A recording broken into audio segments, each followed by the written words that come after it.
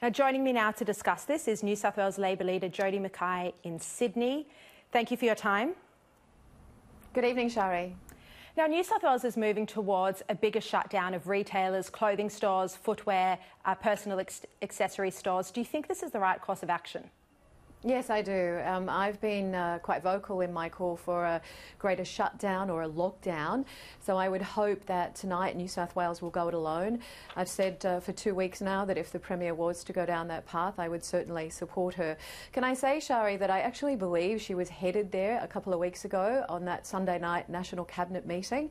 Uh, there were certainly messages coming from her office that she would shut down schools and, of course, that she would go into a lockdown except for essential businesses.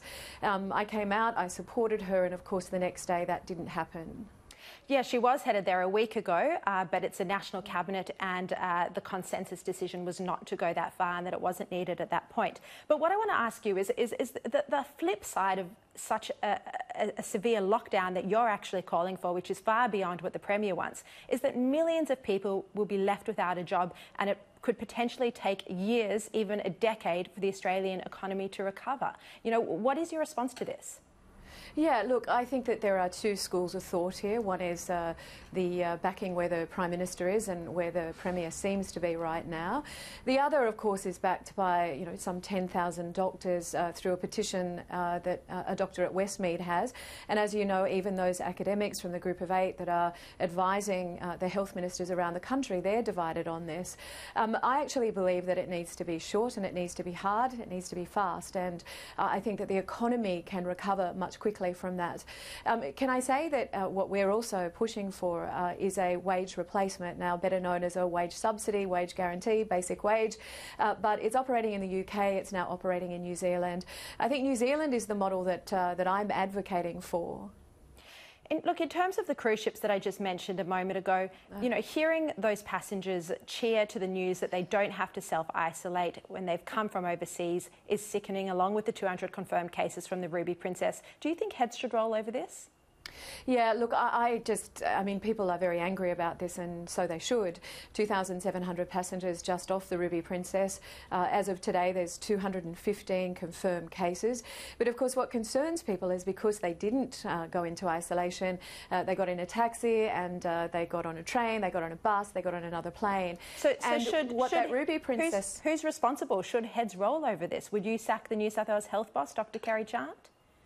Uh, what I would say is that the buck stops with the Premier on this, and uh, she came out on Wednesday, I think it was, and said that she'd made a phone call to Peter Dutton the night before, and uh, that, of course, followed uh, the uh, head of uh, Border Force coming out and saying that it was New South Wales Health's responsibility. But ultimately, she's the Premier.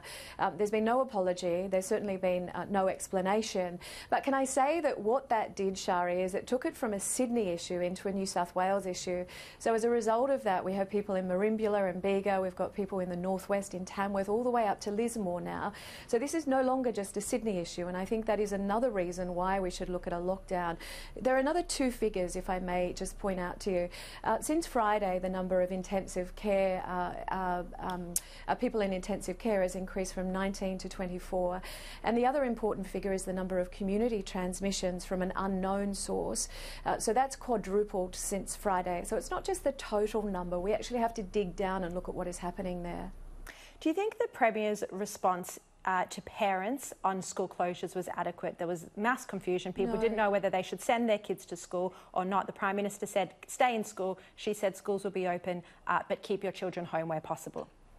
Yeah, I think that there's uh, very confusing messages there, and I know that teachers are anxious and uh, they really uh, don't know whether they should be at school or not. There's 2,200 schools that are currently. Do you open. think they should close or remain open? Yes, I do. No, I think they should close, and I think childcare facilities uh, should close. Even well, though that's against the medical, even though it's against the medical advice that that, that schools well, should I, remain I, open yeah, can I can I again say to you that there are different views on this?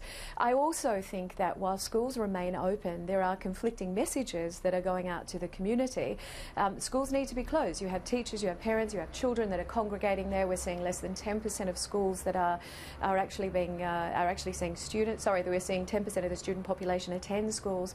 But what in the UK, what they do, for instance, is they have a select number of schools in key areas, and uh, they uh, cater for the children of essential workers and they also uh, cater for students who are disadvantaged or perhaps need that extra care of a, a school environment. So I think that is the model. Having 2,200 schools uh, open is, is not what we should be doing at this particular time. Uh, the Premier has indicated that we are technology ready, and I think those schools should close.